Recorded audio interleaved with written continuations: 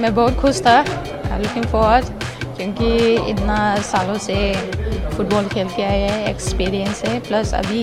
वहाँ पे कैसे खेल रहे हैं अभी फ्यू डेज़ आए आप प्रैक्टिस हो के आए हैं तो अभी बस मुझे अपना जो हंड्रेड परसेंट हार्ड वर्किंग देना है वहाँ के और आ, अपना कंट्री को प्राउड करना है।